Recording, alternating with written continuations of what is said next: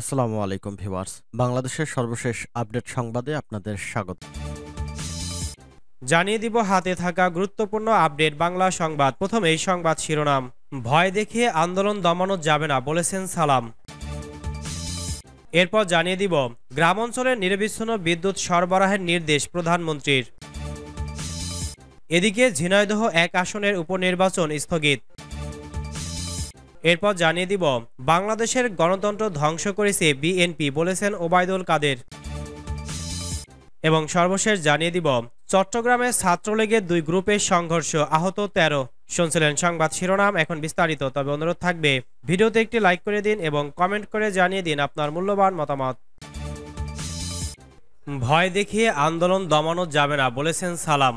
ধমক দিয়ে জেল জুলুমে ভয় দেখিয়ে গণতান্ত্রিক আন্দোলনকে দমানো যাবে না বলে দাবি করেছেন বিএনপি চেয়ারপারসনের উপদেষ্টা, কাউন্সিলের সদস্য ও ঢাকা মহানগর দক্ষিণের আহ্বায়ক বীর মুক্তিযোদ্ধা আব্দুল সালাম। সোমবার ছয় মে বিকেলে পুরান ঢাকার কোর্ট স্ট্রিট রোডে কোতলি থানা বিএনপি সাবেক সাংগঠনিক সম্পাদক কারাবন্দি মুস্তাক আহমেদের পরিবারের সদস্যদের সান্ত্বনা দিতে তার বাসায় গিয়ে এসব কথা বলেন আব্দুল সালাম। তিনি বলেছেন, গণতন্ত্র ও দেশের মানুষের কথা বললে এবং ভোটের অধিকারের জন্য আন্দোলন করলে জেল জুলুমের ভয় সামনে আসে।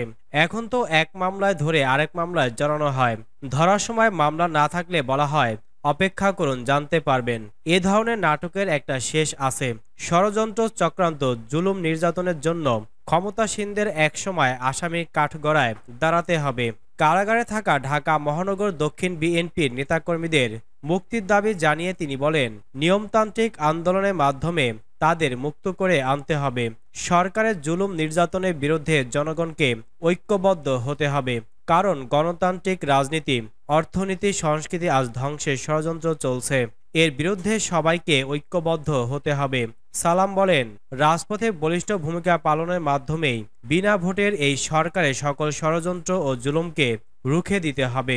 এ সময় উপস্থিত ছিলেন ঢাকা মহানগর দক্ষিণ বিএনপির সদস্য সচিব রফিকুল আলম মজনু, যুগ্ম আহ্বায়ক আব্দুস সাত্তার, রমনা থানা বিএনপি নেতা সাইফুল বিশ্বাস, চকবাজার থানা বিএনপি নেতা আনোয়ারুল হক রনি, মহানগর দক্ষিণ যুবদলের সাবেক যুগ্ম আহ্বায়ক ওমর ফারুক মুন্না, পঁয়ত্রিশ নং ওয়ার্ড বিএনপির সভাপতি রোলেক্স পারভেজ হ্যাপি সাঁত্রিশ ওয়ার্ড বিএনপির সভাপতি সিরাজুল ইসলাম সিরাজ, ছত্রিশ নং ওয়ার্ড বিএনপির সাধারণ সম্পাদক আরিফ হোসেন বাপ্পি, বত্রিশ নং ওয়ার্ড বিএনপির সাধারণ সম্পাদক হাজি জাহিদ হাসান, চৌত্রিশ নং ওয়ার্ড বিএনপির সাধারণ সম্পাদক ডালিম হোসেন সহ কোতরে থানা বিএনপি ও অঙ্গ সংগঠনের নেতাকর্মীরা। গ্রাম অঞ্চলে নিরবিচ্ছিন্ন বিদ্যুৎ সরবরাহের নির্দেশ প্রধানমন্ত্রীর। গ্রাম অঞ্চলে দ্রুত নিরবিচ্ছিন্ন বিদ্যুৎ সরবরাহের নির্দেশ দিয়েছেন প্রধানমন্ত্রী শেখ হাসিনা।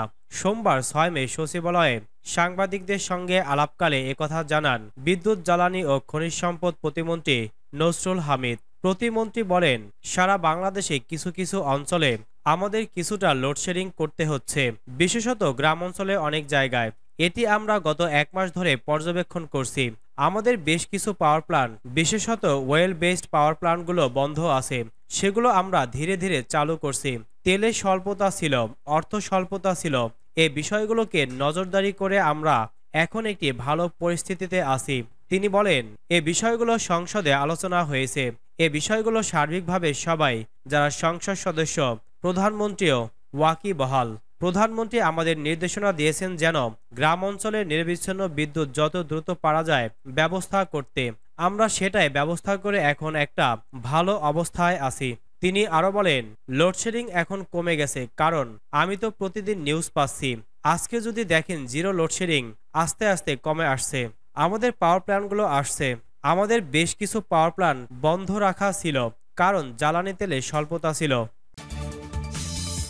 ঝিনাইদহ এক আসনের উপনির্বাচন স্থগিত। আগামী পাঁচ জন অনুষ্ঠিত হতে যাওয়া ঝিনাইদহ এক শৈলকোপা আসনের উপনির্বাচন স্থগিত করেছেন হাইকোর্ট। সোমবার ছয় মে বিচারপতি মোহাম্মদ জাকির হোসেনের হাইকোর্ট বেঞ্চ এ আদেশ দেন। গত ষোলো মার্চ ঝিনাইদহ এক আসনের সংসদ সদস্য বীর মুক্তিযোদ্ধা আব্দুল হাই মারা যাওয়ায় আসনটি শূন্য হয়। দ্বাদশ জাতীয় সংসদ নির্বাচনে এ আসন থেকে নৌকরা প্রতীকে জয়লাভ করেছিলেন আব্দুল হাই। এদিকে এ আসনের উপনির্বাচনে আওয়ামী লীগের প্রার্থী মনোনীত হয়েছেন মোহাম্মদ নায়েব আলী জোয়ারদার। তিনি সাবেক উপজেলা চেয়ারম্যান এবং জেলা আওয়ামী লীগের সদস্য।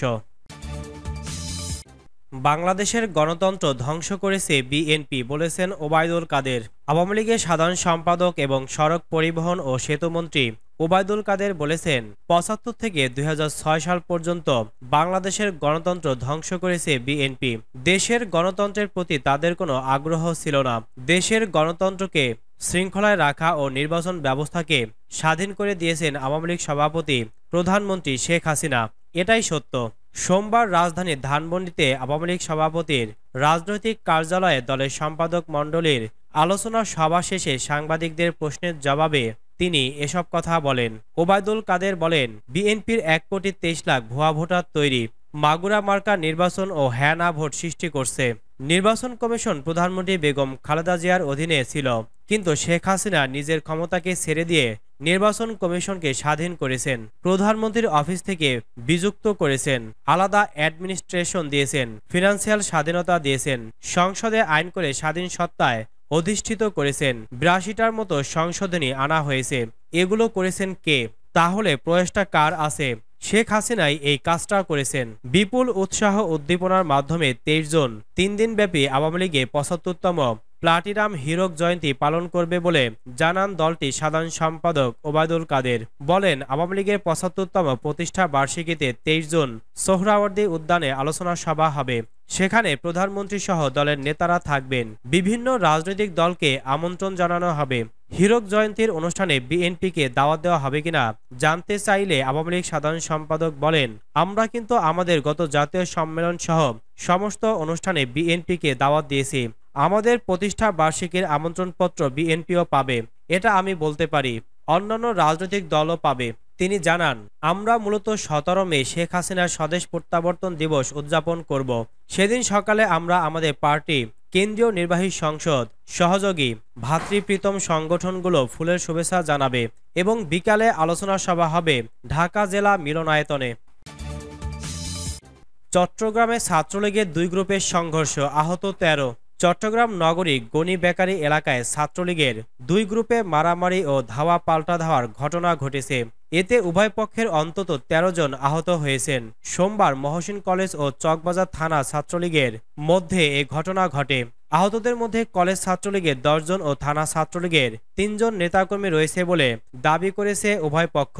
চকবাজার থানার ওসি ওয়ালিউদ্দিন আকবর বলেন, মহসিন কলেজের সামনে ছাত্রলীগের দুই পক্ষের মধ্যে কথা কাটাকাটি হয়েছে। বড় ধরনের কোনো ঘটনা ঘটেনি। উভয় পক্ষের কেউ থানায় কোনো অভিযোগ করেননি। মহসিন কলেজ ছাত্রলীগের যুগ্ম আহ্বায়ক মাইমুন উদ্দিন মামুন বলেন, কেন্দ্রীয় কর্মসূচির অংশ হিসেবে কলেজ জাতীয় পতাকা উত্তোলন করি। এরপর কলেজ থেকে পদযাত্রা নিয়ে বের হয়ে ঘুরে এসে পুনরায় কলেজের প্রধান ফটকে জড়ো হই। হঠাৎ চকবাজার থানা ছাত্রলীগের সভাপতি জাহেদের নেতৃত্বে এলাকার লোকজন আমাদের ওপর হামলা করে। জাহেদ সন্দেপে ছাত্র দলের ক্যাডার। শহরে এসে খোলস পাল্টে এখন ছাত্রলীগের নামে অপকর্ম করছে।